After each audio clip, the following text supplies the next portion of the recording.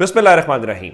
लाखों करोड़ों दुरूदो सलाम मोहम्मद मुस्तफ़ा सल्लल्लाहु अलैहि वसल्लम और आले मोहम्मद पर मैं हूँ उमर दराज गोंदल।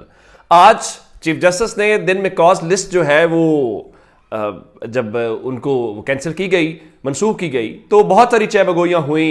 खबर तो यही थी कि उनकी तबीयत नासाज है और चीफ जस्टिस सुप्रीम कोर्ट में नहीं आए। और चूँकि आज इस्लामाबाद के अंदर बहुत ज़्यादा हैपनिंग्स थी और मैं उनसे मुतलिक आपको खबरें दे रहा हूँ तो तासुर यह दिया गया कि चीफ जस्टिस डर गए हैं। और ये कहा गया, देखें, चीफ जस्टिस आज समाप्त नहीं हुई तो बहुत सारे वो रिपोर्टर्स जो मरियम नवाज़ का माउथ पीस है, उनका आज की समाप्त खत्म तो आप समझे, कल की समाप्त भी नहीं होगी और कल भी छुट्टी समझे। लेकिन ज़ाहिर है चीफ जस्टिस उमर अता बंदयाल को अंदाज़ा है, उनके खिलाफ जो कुछ पिछले चंद दिनों के अंदर हुआ है, ये नहीं हो सकता अगर उन्होंने सरेंडर करना हो और खुशाब जाके गुजारनी हो ज़िंदगी तो वो हफ़्ता दस दिन या एक महीना पहले चले जाते खुशाब जाते अपनी ज़िंदगी वहाँ फैमिली के साथ गुजारते जस्टिस बंदयाल डटे हुए उन्होंने फैसला कर लिया हुआ है कि ये नहीं होगा सिर्फ़ और सिर्फ़। अब उन्होंने, वो कहते हैं ना, पंजाबी में कहते हैं कि दाई दिखा के बाई मारना, यानी सजीव खाना से कभी मारना। इसका मतलब ये होता है कि आप खुश हो रहे होते हैं कि देखें, ये तो हो गया, लेकिन असल गेम कुछ और होती है, आज हुआ है वो। यानी आज छब्बीस तारीख है छब्बीस तारीख की कॉज लिस्ट उन्होंने मनसूख की उन्होंने कहा बिल्कुल ठीक है। चीफ जस्टिस ने सत्ताईस तारीख की भी अपनी कॉज लिस्ट जारी कर दी मनसूख कर दी, इनका बिल्कुल तसली हो गया। लेकिन उसके बाद चीफ जस्टिस ने इनको मुँह तोड़ और तगड़ा जवाब दिया। उसकी वजह क्या? उसकी वजह यह है कि आज वज़ीर आज़म हाउस के अंदर जो इतिहादियों का इजलास है, बुनियादी तौर पर वो सोग में तब्दील करता होता हुआ नज़र आ रहा है। कैसे? शहबाज शरीफ ने वहाँ पर जरदारी से मुलाकात की है फजल रहमान से मुलाकात की है और जो दीगर उनके रहनुमा है, जिसमें बिलावल भुटो जरदारी भी थे, कमर जमान कायरा थे, खालिद मक्सी थे तारिक बशीर चीमा थे, सालिक हुसैन थे, ये सारे लोग वहाँ पे मौजूद थे, अटर्नी जनरल आज़म नजीर तारट भी शामिल थे। इन सबने वहाँ पे क्या किया?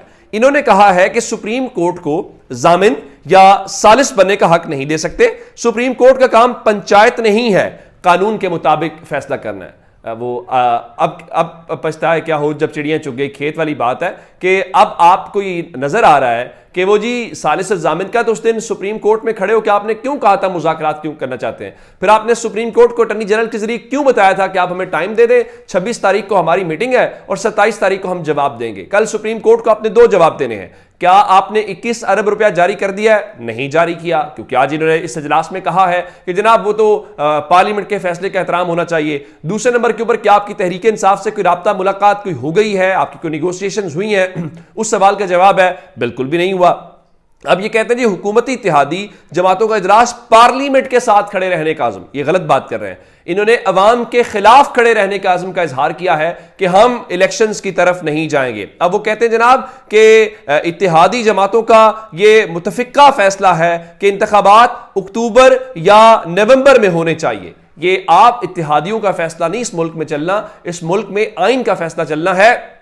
और आइन का फैसला यह है कि जब नब्बे रोज में असेंबली टूट जाए तो नब्बे रोज के अंदर अंदर इलेक्शन करवाने हैं। इसलिए अगर आप कहें कि तेरह अगस्त को मुद्दत पूरी हो रही है तो तेरह अगस्त के बाद, तीन माह बाद जो भी तारीख बनती है, उस पर इलेक्शन होनी चाहिए। और यह इतिहादियों का मुतफिका फैसला है। इतिहादी भी इधर ही है, कौम भी इधर ही है। कौम इतिहादी अक्टूबर में भी नहीं छोड़ेंगे। चले अगर आप अक्टूबर में जाना चाहते हैं, लेकिन बहरहाल मैं आपको बताना यह चाहता हूँ कि पाकिस्तान तहरीक इंसाफ ने जो लाल झंडा लहराया है, वो मैं उसको बता देता हूँ। फवाद चौरी साहब ने फौरी तौर पर रद्द रद्दमल दिया और कहा कि शहबाज शरीफ कह रहे हैं कि इंतबात अक्टूबर में होने चाहिए। आइन कहता है कि असेंबलियाँ टूटने के नब्बे दिन के अंदर इलेक्शन होने हैं। काबीना अपना फैसला पार्लियामान को भेज दे और दो तिहाई अक्सरियत से आइन को बदल ले।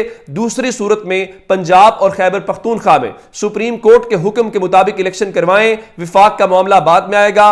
आइन को सिर्फ़ बयानियों और करारदादों से मुतल नहीं किया जा सकता। आइन को न मानने का रवैया नाकाबिल कबूल है। तो यह तो हो गया उनकी तरफ़ से। अब असल खेल यह है कि चीफ जस्टिस वाला क्या है? चीफ जस्टिस ने भरपूर तरीके से इनको मुँह तोड़ और तगड़ा जवाब दिया। और चीफ जस्टिस कह रहे हैं कि उन्होंने इलेक्शन कहा है तो इलेक्शन होगा। आप जानते हैं ईद से पहले जो तहरीरी हुक्मनामा आया था, उसमें लिखा गया था कि 14 मई का 14 मई को इलेक्शन करवाने का फैसला अपनी जगह पर स्टैंड कर रहा है और तमाम एग्जीक्यूटिव अथॉरिटीज उस फैसले के ऊपर अमल दरामद करवाने की पाबंद है। अब आप जो मर्ज़ी कहें, जहाँ पे आपने फेडरल गवर्नमेंट है, वहाँ पे अप्रोप्रिएट अथॉरिटी का लफ्ज इस्तेमाल कर लें, जो मर्ज़ी कर लें। आपको सुप्रीम कोर्ट को जवाब देना है, आपने पैसे क्यों नहीं दिए, आप इलेक्शन क्यों नहीं करवा रहे? अब सुप्रीम कोर्ट की तरफ़ से क्या हुआ है? जो तीन रुकनी बेंच है जिससे इनको बहुत डर लगता है, जिसमें जस्टिस उमरता बनियाल है, जस्टिस एजाजुल एहसन है, जस्टिस मुनीब अख्तर है, उनका छब्बीस और सत्ताईस का अप्रैल का तमाम बेंच डी लिस्ट कर दिए गए हैं और चीफ जस्टिस कल सिवाय इलेक्शन ताखीर केस के, उसके अलावा कोई केस नहीं सुनेंगे। कल साढ़े ग्यारह बजे केस की समात मुकर कर दी गई है और कल साढ़े ग्यारह बजे से पहले पहले चीफ जस्टिस चैंबर वर्क करेंगे और चैंबर वर्क के बाद वो इस केस को सुनेंगे। ज़ाहिर है जिसका उन्होंने इलेक्शन के हवाले से है। तो कल इनकी परेशानी तो बहुत ज़्यादा है। आज इन्होंने काबीना का इजलास किया है। ज़ाहिर है उससे भी बात नहीं बन रही। हुकूमती इतिहादियों का इजलास हुआ है। उसमें भी बात नहीं बनी। अब फजल रहमान ने तो इवन फजल रहमान को भी कायल नहीं कर सके। फजल रहमान ने बहुत वाजे अंदाज में कहा कि देखें आप, हम जाएँगे, मजलिस आमला के सामने ये मामला रखेंगे, हमारी मजलिस आमला जो कहेगी, हम उसके अकॉर्डिंग नहीं करेंगे। दूसरी जानब पार्लियामेंट का एक इजलास है, और पार्लियामेंट के इजलास के अंदर पाकिस्तान तहरीक इंसाफ के जो अरकान कौमी असम्बली है, उनको पार्लियामेंट हाउस के गेट के ऊपर रोक लिया गया। और ये सिंध के अरकान है, इनके इस्तीफों के मामले के ऊपर सिंध हाईकोर्ट ने फैसले मुतल कर रखे हैं। लेकिन स्पीकर साहब कहते हैं, जी, वो स्ट्रेंजर्स हैं। स्ट्रेंजर्स जो हैं, उनको हाउस के अंदर नहीं आने दिया जाएगा, उनको कौमी असम्बली के गेट के ऊपर रोक लिया जाएगा। ये चार दिन की खुदाई तो कोई खुदाई नहीं है। आपने ये हुकूमतें भी खत्म हो जानी है। इन सबने इससे क्या है? अगर अवाम के नुमाइंदों के साथ ये सलूक करेंगे तो क्या अवाम के नुमाइंदों को इन चीज़ों का अंदाज़ा नहीं है? या वो इस चीज़ को भूल जाएँगे? मेरे ख्याल से वो नहीं भूलेंगे। मैं इस हुकूमत की कारकर्दगी के मुतालिक आपको बहुत ज़रा बातें सुनाता रहता हूँ। ज़रा अंदाज़ा कीजिए इस हुकूमत ने ये जो आए हैं इमरान खान के दौर में कहते थे कि देखें जी, हज इतने में महँगा हो गया है, ये फलां चीज़ हो गई है। अंदाज़ा कीजिए पाकिस्तान की तारीख में पहली बार पाकिस्तान को हज कोटा दस्तियाब है। और हज कोटा दस्तियाब होने के बावजूद पाकिस्तान के पास हाजी कम पड़ गए हैं। यानी हमारे पास कोटा ज़्यादा है, लेकिन हमारे पास लोग कम है। अब उसकी क्या वजह है? उसकी वजह पैसे हैं। अगर आप 10 लाख से ऊपर हज चला जाएगा तो लोग कहाँ से अदा करेंगे? हालाँकि इस बार हुकूमत ने यह भी ऑफ़र की है कि अगर आपके कोई ओवरसीज हैं और वहाँ से वो डॉलर्स के अंदर पेमेंट कर दें और डॉलर्स की पेमेंट के अंदर आपको कुरानंदाजी में भी नहीं जाना पड़ेगा, उसके बावजूद इस हुकूमत की कामयाबी और नाकामी का अंदाज़ा इस बात से लगा लीजिए कि पाकिस्तान में महँगाई के बायस हज करने वाले कम पड़ गए हैं और वो कोटा जो हमें सऊदी अरब से दिया गया था, वो कोटा हम सऊदी अरब को वापस कर रहे हैं। और एजेंट होने के और पता नहीं क्या कुछ इल्ज़ाम किसके ऊपर लगते हैं, इमरान खान के। और फजल रहमान भी चूँकि मुल्क के अंदर वो, कहते नहीं मैं फला हूँ तो ये सारे हुकूमतें इंजॉय करना चाहते हैं। लेकिन जो असल बात है, इनके होते हुए आप ये याद रखिएगा। दूसरा, अली अमीन गंडापुर के मुतलिक मैंने आपको खबर दी थी, अली अमीन गंडापुर के मुतलिक खबर यह है कि उनको शिकारपुर की अदालत ने न सिर्फ़ रिहा करने का हुक्म दे दिया है बल्कि सिविल जज एजाज हुसैन ने तहरीक इंसाफ के रहनुमा के खिलाफ जो दायर मुकदमा है, उसको खारिज करने का हुक्म भी दे दिया। लेकिन इतनी जल्दी जमानत होगी नहीं, उसकी वजह यह है, मैंने आपको मिट्टी वाला बताया था कि मिट्टी की जो पुलिस है, उनने मुतनाज़ा ट्वीट करने के ऊपर उनका खिलाफ मुकदमा दर्ज कर लिया और वो गिरफ्तारी के लिए पहुँच गए हुए हैं। ये पाकिस्तान के अंदर एक रिवाज है। ये आज का रिवाज नहीं है। ये पचहत्तर सालों से रिवाज चलता आ रहा है कि यूँ घुमाया जाता है, मुकदमात के अंदर, जेलों के अंदर डाला जाता है। वो जो जेलों में डालने वाले और गिरफ्तारियाँ डालने वाले हैं, उनका मिजाज नहीं बदला।